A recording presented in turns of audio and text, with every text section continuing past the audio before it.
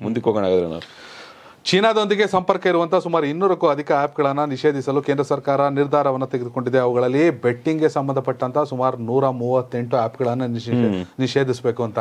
ಇದು ನಿಜಕ್ಕೂ ಒಳ್ಳೆ ಕೆಲಸ ಮುಖ್ಯವಾಗಿ ನ್ಯೂಸ್ ಕಂಟಿನ್ಯೂ ಮಾಡಕ್ ಮುಂಚೆ. ಯಾಕಂದ್ರೆ ಲಾಟ್ರಿ ನಿಲ್ಲಿಸ್ತವರು ಆನ್ಲೈನ್ ಅಲ್ಲಿ ಬೆಟ್ಟಿಂಗ್ ಆಡಿಸ್ತಾರೆ ನಮ್ಮ ದೇಶದಲ್ಲಿ. ಪೂರ್ತಿ ಓದ್ಬಿಡಿ ಜಾಸ್ತಿ ಇದರಲ್ಲಿ. ಹೆಂಗಿದೆ ಅಂದ್ರೆ ಬಗ್ಗೆ ಹೇಳೋಣ.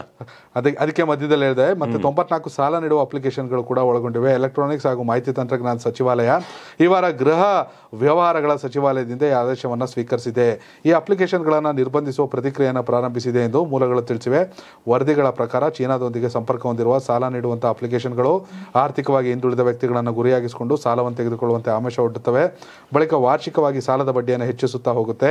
ಸಾಲ ತೀರಿಸಲು ಸಾಧ್ಯವಾಗದೆ ಹೋದಾಗ ಕಿರುಕುಳ ನೀಡಿ ಅಷ್ಟೆಲ್ಲ ಸಂದೇಶಗಳನ್ನು ಕಳುಹಿಸಿ ಬೆದರಿಕೆ ಹಾಕ್ತವೆ ಅಂತ ತಿಳಿದು ಬಂದಿದೆ. ಆಂಧ್ರಪ್ರದೇಶ ಹಾಗೂ ತೆಲಂಗಾಣದಲ್ಲಿ ಕೆಲವರು ಇಂಥ ಅಪ್ಲಿಕೇಶನ್ಗಳಿಂದ ಸಾಲವನ್ನು ತೆಗೆದುಕೊಂಡು ಹಾಗೂ ಬೆಟ್ಟಿನಿಂದ ಹಣ ಕಳೆದುಕೊಂಡು ಆತ್ಮಹತ್ಯೆ ಮಾಡಿಕೊಂಡ ಬಳಿಕ ಈ ವಿಚಾರ ಬೆಳಕಿಗೆ ಬಂದಿದೆ. ಈ ಹಿನ್ನೆಲೆಯಲ್ಲಿ ಹಲವಾರು ರಾಜ್ಯಗಳು ಮತ್ತು ಕೇಂದ್ರ ಗುಪ್ತಚರ ಸಂಸ್ಥೆಗಳು ಈ ಅಪ್ಲಿಕೇಶನ್ಗಳ ವಿರುದ್ಧ ಕ್ರಮ ಕೈಗೊಳ್ಳುವಂತೆ ಕೇಂದ್ರ ಗೃಹ ಸಚಿವಾಲಯವನ್ನು ಕೇಳಿಕೊಂಡಿದೆ. ನನ್ನ ಮೊಬೈಲಲ್ಲೂ ಕೂಡ ಈ ಮೊಬೈಲ್ ಅಪ್ಡೇಟ್ ಆದಾಗೆಲ್ಲ ಏನೋ ಹಾಟ್ ಏನೋ ಹಾಟ್ ಆ್ಯಪ್ಸ್ ಅಂತ ಒಂದು ಫೋಲ್ಡರ್ ಕ್ರಿಯೇಟ್ ಆಗುತ್ತೆ. ಓಕೆ. ಇರೋ ಬರೋ ಈ ಫೈನಾನ್ಷಿಯಲ್ ಆ್ಯಪ್ಸ್ ಎಲ್ಲ ಅದಕ್ಕೆ ಬಂದ್ಬಿಟ್ಟಿರುತ್ತೆ. ಈ ರಮ್ಮಿ ಈ ಡ್ರೀಮ್ ಇಲೆವೆನ್ ಲೆವೆನ್ಸ್ ಇವೆಲ್ಲ ಏನೋ ಇದಾವೆ. ನಮ್ಗೆ ಆಡಕ್ ಬರಲ್ಲ. ಅಪ್ಪಿತಪ್ಪಿ ಮನೇಲಿ ಮಕ್ಕಳಿಗೆ ಮೊಬೈಲ್ ನೋಡಿದಾಗ ಅದನ್ನ ಹಾಕಿದ್ರೆ ಹೋಯ್ತು. ಹೌದು. ಸೊ ಇದು ಗೊತ್ತಿಲ್ಲದಿರಂತ ಆಗ್ತಂಥದ್ದು. ಬಟ್ ಗೊತ್ತಾಗಿರ್ತಾ ಇರ್ತಕ್ಕಂಥದ್ದು. ಆನ್ಲೈನ್ ಗೇಮಿಂಗ್ ಆಪ್ಸ್ ಎಷ್ಟಿದಾವೆ? ಈಗ ನಮ್ಮ ಕ್ರಿಕೆಟ್ ದೊಡ್ಡ ದೊಡ್ಡ ಕ್ರಿಕೆಟ್ ಸ್ಟಾರ್ಸೇ ಆಡ್ಕೊಡ್ತಾರಪ್ಪ. ಹೌದು. ಸಿನಿಮಾ ಸ್ಟಾರ್ಸೇ ಆಡ್ಕೊಡ್ತಾರಪ್ಪ.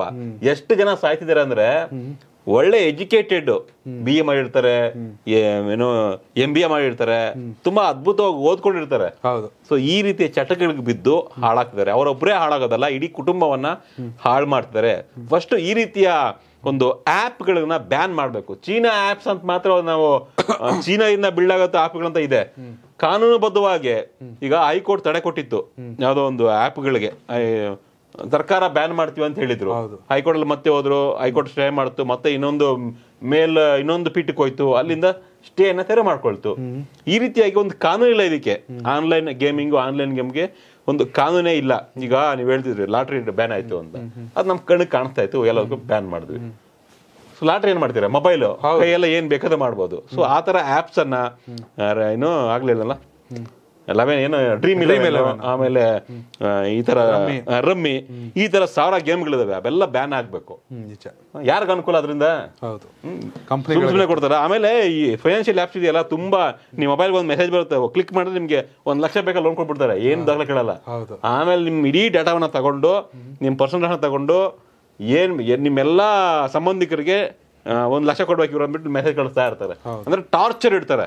ಸೊ ಈ ತರ ಬೆಂಗಳೂರು ಕೂಡ ಕಂಪ್ಲೇಂಟ್ ಆಗಿದೆ. ಬರೀ ಆಂಧ್ರ ತೆಲಂಗಾಣ ಅಲ್ಲ ಬೆಂಗಳೂರಲ್ಲೂ ಕೂಡ ಸಾಕಷ್ಟು ಪೊಲೀಸ್ ಸ್ಟೇಷನ್ ಅಲ್ಲಿ ಈ ಬಗ್ಗೆ ಕಂಪ್ಲೇಂಟ್ಸ್ ಆಗಿದಾವೆ. ಸಾಕಷ್ಟು ಜನ ಇದ್ರ ಬಗ್ಗೆ ಮಾತನಾಡ್ತಾರೆ ಇದ್ರ ಬಗ್ಗೆ ಕ್ರಮ ಕೈಗೊಳ್ಳಿ ಅಂತ. ನೋಡೋಣ ಕೇಂದ್ರ ಸರ್ಕಾರ ಈಗ ಒಂದು ಸ್ಟೆಪ್ ಮುಂದೆ ಇಟ್ಟಿದೆ. ಬಟ್ ಎಲ್ಲಾ ರಾಜ್ಯಗಳು ಕೂಡ ಆನ್ಲೈನ್ ಗೇಮಿಂಗ್ ಆನ್ಲೈನ್ ಈ ಬೆಟ್ಟಿಂಗ್ ಆ್ಯಪ್ಗಳನ್ನ ಬ್ಯಾನ್ ಮಾಡಿದ್ರೆ ಬೆಟ್ರು ಖಂಡಿತ. ಎಸ್